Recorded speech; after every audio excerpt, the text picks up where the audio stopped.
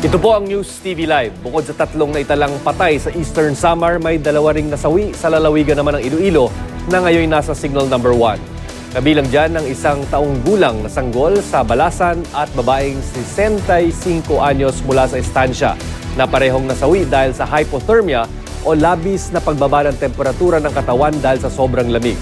Sa Higantes Island naman sa Northern Iloilo, 142 families o 449 individuals ang iniligas. Ang ilan sa isang kuweba muna magpapalipas ng gabi.